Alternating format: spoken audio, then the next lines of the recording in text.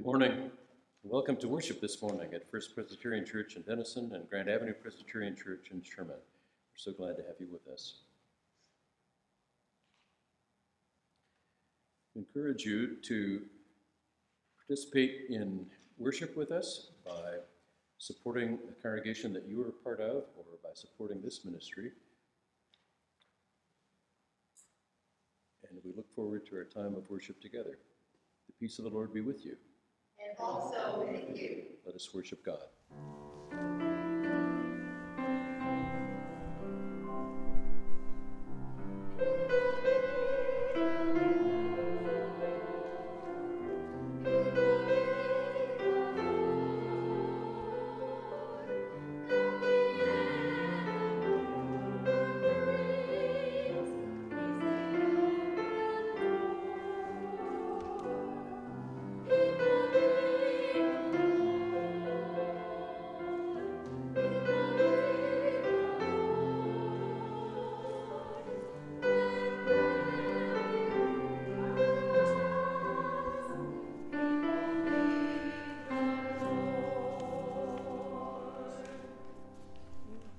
Please join me in the call to worship. People of God, listen. The Lord has done marvelous things, Teach your children all that God has done, so that they may live in hope and die die in peace.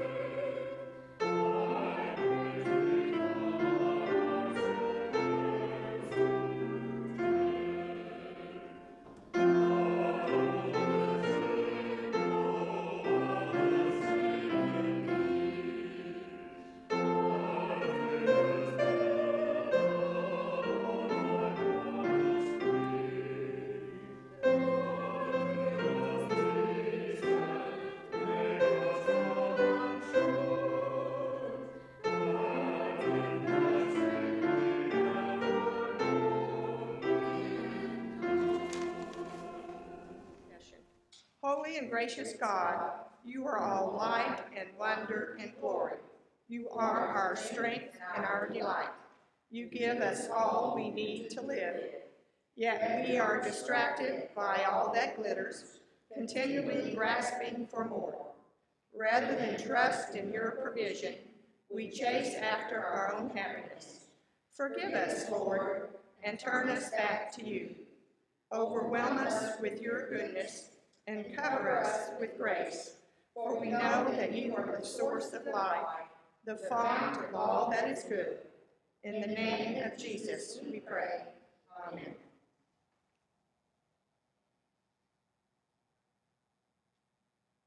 Join me in saying, In his name we pray. Amen.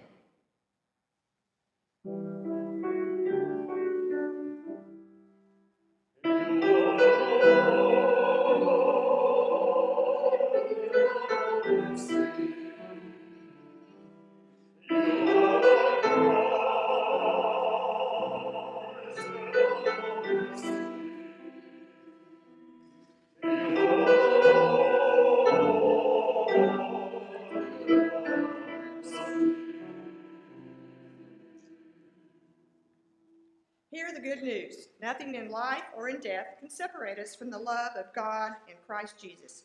Friends, believe the good news of the gospel. In Jesus Christ we are forgiven. Thanks be to God.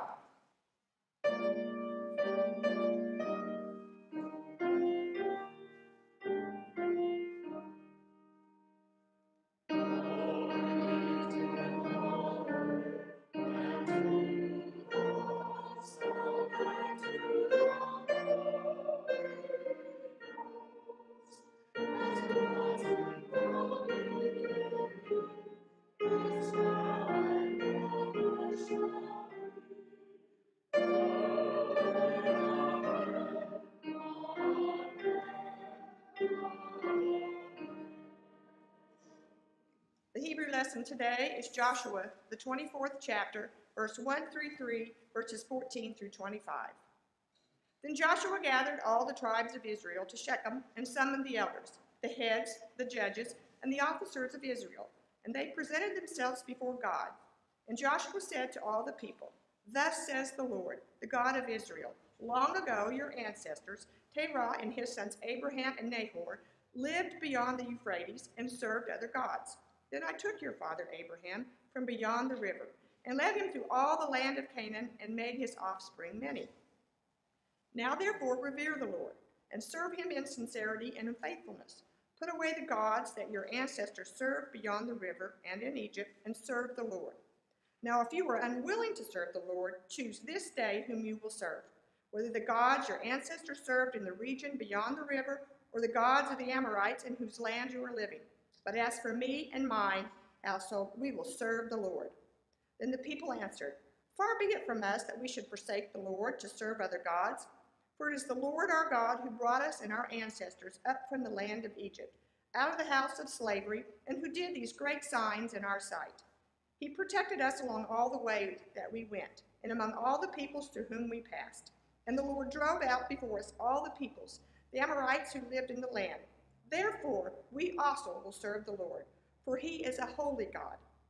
But he is a jealous God.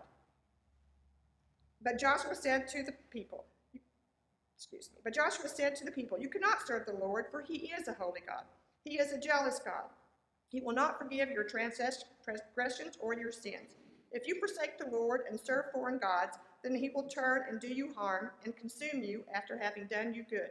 And the people said to Joshua, No, we will serve the Lord. Then Joshua said to the people, You are witnesses against yourselves that you have chosen the Lord to serve him. And they said, We are witnesses. He said, Then put away the foreign gods that are among you and incline your hearts to the Lord, the God of Israel. The people said to Joshua, The Lord our God we will serve, and him we will obey. So Joshua made a covenant with the people that day and made statutes and ordinances for them at Shechem. I invite you to stand as you're able as we hear this word from the Gospel of Matthew, chapter 25, verses 1 to 13. Then the kingdom of heaven will be like this Ten bridesmaids took their lamps and went to meet the bridegroom.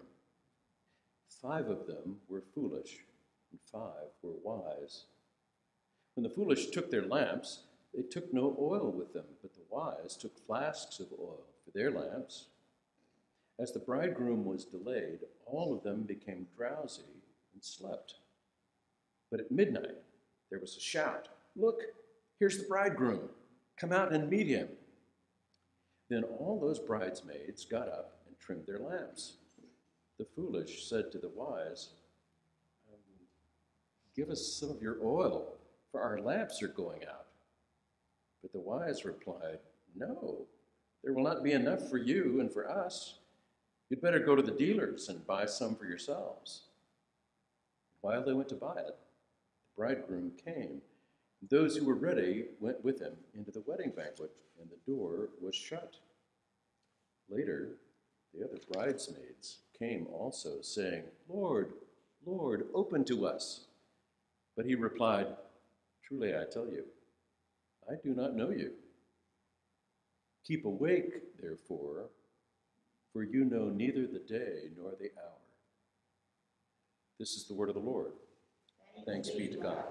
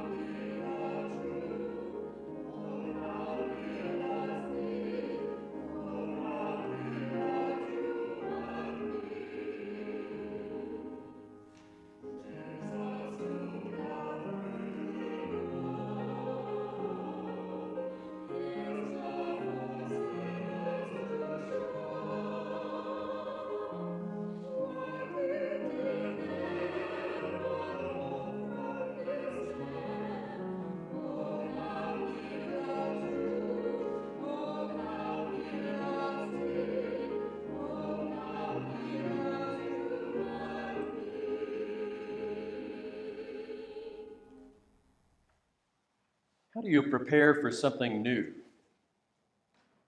What do you do if you're about to launch into a new thing or begin something new? How do you prepare? What do you do? Research. Research, yes, that's right. So, some of the things that we might be preparing to do, we would want to know about. We'd want to know about what's ahead. If it's a new job, you would want to know about the things that are expected of you. If it's uh, uh, a new setting that you're going to be in, you want to find out about what's available, uh, where you'll need to go. Uh, if there's a new era coming, you would want to know about what that new era might be. In some ways, as we look back on the election of this, this past week, some may be thinking this is like a new era or a continuation of the old era. It might be that we want to know about what we would expect. And as we think about a new time, there are some who might be very happy, very pleased with the, the time that we're in. There are others who maybe are very disappointed. There are some who may have high expectations and some who may have high anxiety. But as we look ahead, we want to try to figure out what it is we're to be doing. What does all of this mean for us? Whether this is an election that has gone in your favor or one that you would think of as not so much in your favor. When we hear the passages for this morning, we hear the gospel reading where Jesus is speaking about the kingdom of heaven. The kingdom of heaven will be like this there are wedding attendants getting ready for the wedding, and they're going to welcome the bridegroom, he says. The attendants would have, uh, would have taken little lamps. Uh, maybe you've seen some of them. They, they are uh, little flat um, clay pots that are open on the top with, with a little kind of spout on the end where the wick would go.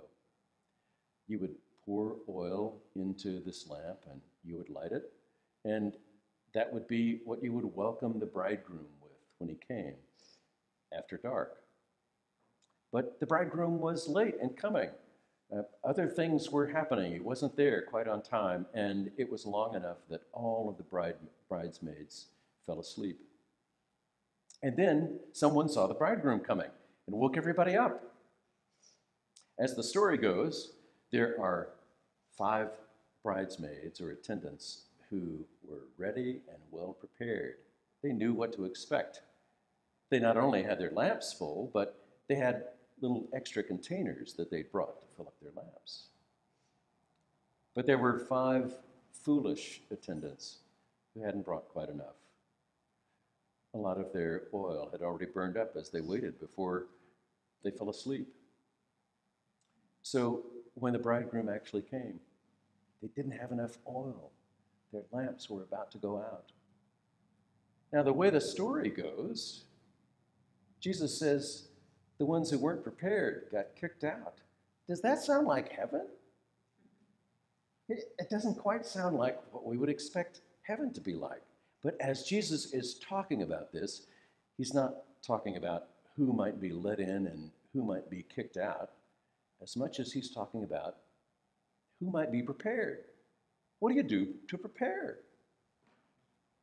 You try to anticipate the situation, you look at what might be needed, you do your research, and you bring things together, you bring resources together. And then you may be prepared. Prepared for what? When Jesus speaks about the kingdom of heaven, he's speaking about the kingdom of heaven like a wedding banquet. He's spoken about it being like a wedding banquet several times before. A wedding banquet where we all come in and eat, where we all have this great celebration of good things that are happening. We're to be prepared how is it that we're to bring the extra things that we need so that we're able to welcome the bridegroom, who is Jesus, to welcome the one who is coming again.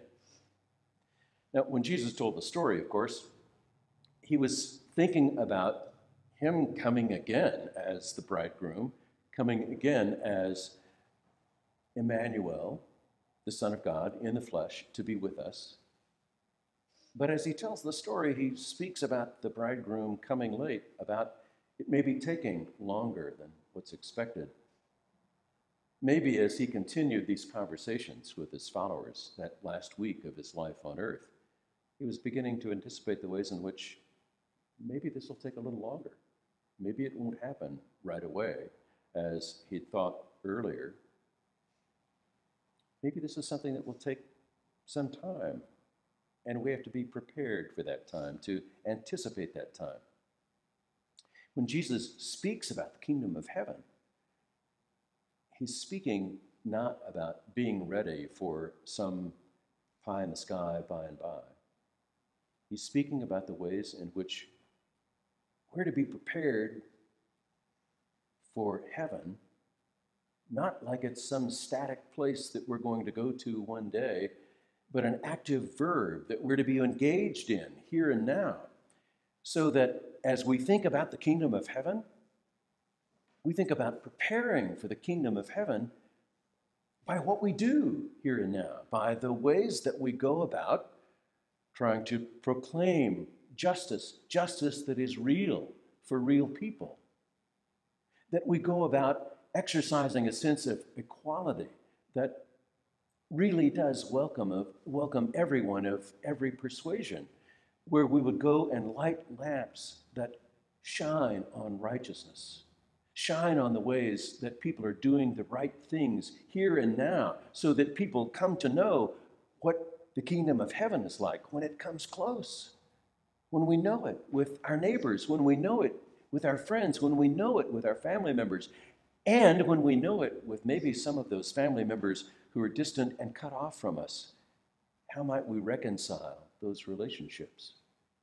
When we know it with our enemies, how is it that we might bridge the gap between the people that we've been separated from, the people who have said maybe they hate us or that we feel sometimes as though we hate them?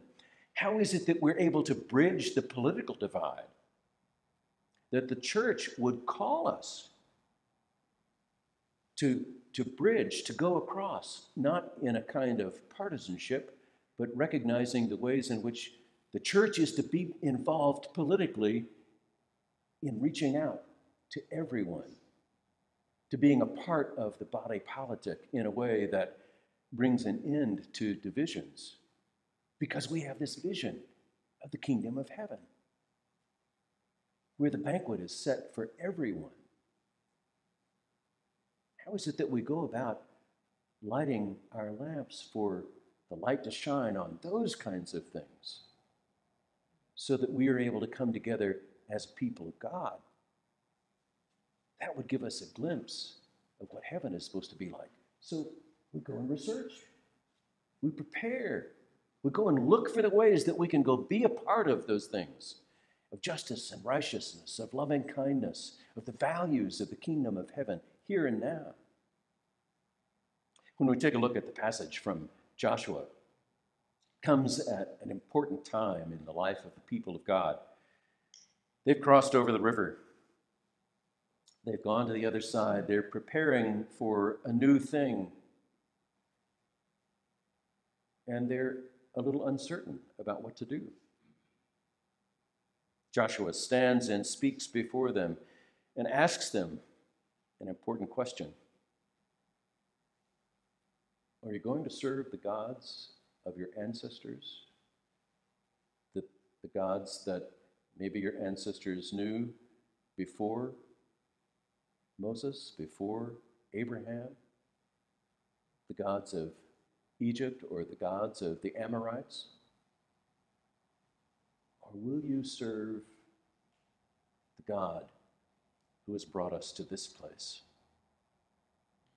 In the first 13 verses of this passage, 10 of which we skip, there are 18 references where God uses the first person singular pronoun I.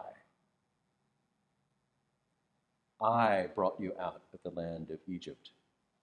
I gave to you. I loved you. I did all of these things. I, God says, I.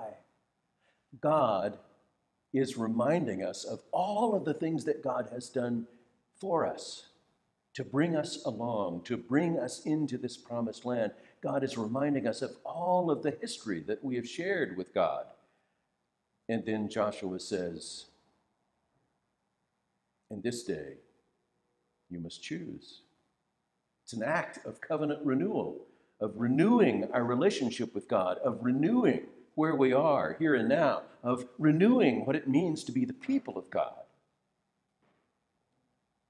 Choose this day whom you will serve, Joshua says. Will it be the old little gods of division? Will it be the old little gods that would have us go in different directions and, and serve in different ways, serve some idols that would tell us, no, no, these are the things that are important? Prosperity is important, or being in powerful positions are important. Is it that we would serve the small gods of our ancestors, or we would serve the God of Abraham and Isaac and Jacob? Choose this day whom you would serve, Joshua says. No matter whether you agree or disagree or are excited or disappointed by the results of our election, where we happen to be now. We are called to be the church. We are called to serve the Lord. We are called to go and take a different message to all of the people. We are called to go and proclaim righteousness we are called to go and live out justice. We are called to go and be symbols, a light to the world of God's loving kindness. When we go and do those things, it's possible then for us to bring many other people together to know what it means to serve the Lord. That's what God calls us to do. And we're called to be engaged and involved in the very politics of the world, just not the partisanship of the world. As we would go and point the way, shine the light, and say, This, this is whom we shall serve. I invite you to stand as you're able as we say together what we believe. We trust in Jesus Christ, fully human, fully God. Jesus proclaimed the reign of God, preaching good news to the poor and release to the captives, teaching by word and deed, and blessing the children, healing the sick and binding up the brokenhearted, eating with outcasts, forgiving sinners, and calling all to repent and believe the gospel unjustly condemned for blasphemy and sedition, Jesus was crucified, suffering the depths of human pain, and giving his life for the sins of the world. God raised Jesus from the dead, vindicating his sinless life, breaking the power of sin and evil, delivering us from death to life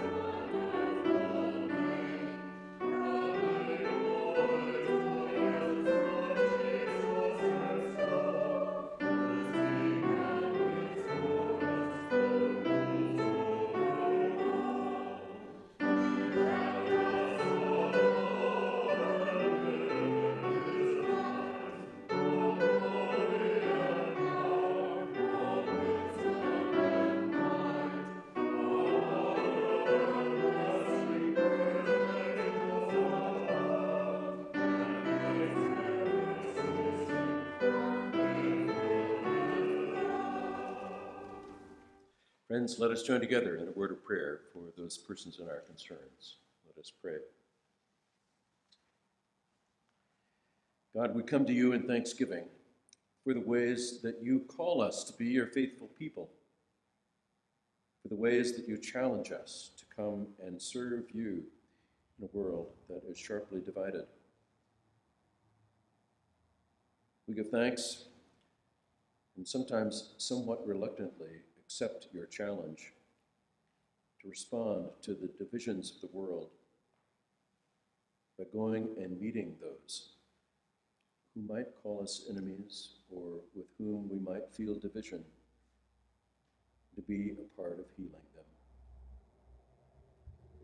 We give thanks to you for the grace that you give to us and for the ways that you call us to be gracious people. We come before you remembering those whom we know to be in need. For Louise, Jerry Sue, and Tom, who face the limitations that they know in assisted living. For the ways that they feel a sense of loneliness. We pray for ways that we may be a part of reaching out to them to have them know that they are not alone. For Sally, as she continues treatment for pancreatic cancer. For Tiffany and for Ellen, as they begin treatment for breast cancer. We pray for their strength and for their well being. We pray that your healing ways may be a part of the medical care that they receive as doctors and nurses seek to do their best for them. For Wendy, as she prepares for hip replacement surgery, we pray for renewed mobility for her. For Kathy, who continues to be unresponsive in the hospital for several days and whose life may soon come to its completion. We give thanks for the ways in which you love her and continue to love her, for the ways in which we are reassured that in life and in death we belong to God. We pray for Ken as he continues to know the challenge of this virus. We pray for his strength for his ability to endure, and for his recovery. We pray for Jack, who succumbed to this virus. We pray for his family. We pray that your blessings would be with them, would uphold them, and give them strength. We pray that they would be surrounded by those who love and care for them and would remind them of the ways that they're loved by you. For Pam, who lost her husband Larry to the virus. We pray for her even as she is in a place far from us. We pray that your blessings of assurance, love of your, your presence would be with her, encouraging her for Landers Sr. as he continues in the hospital with not much improvement. We pray for the best outcome that is possible. May your blessings be with each of these people, with many more, as we know and trust that you are already caring for them, present with them, and are loving. We pray these things in the name of your Son, our Lord. Amen. And now let us give God the Lord's tithes and our offerings.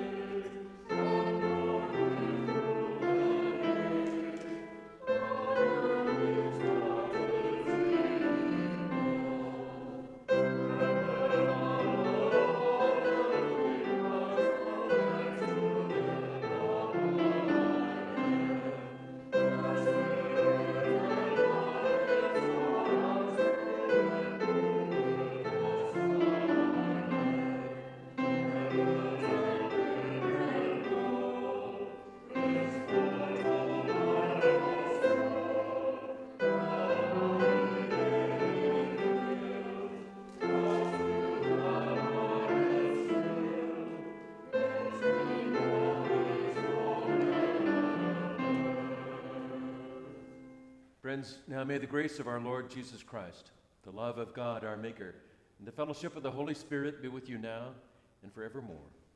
The Lord be with us.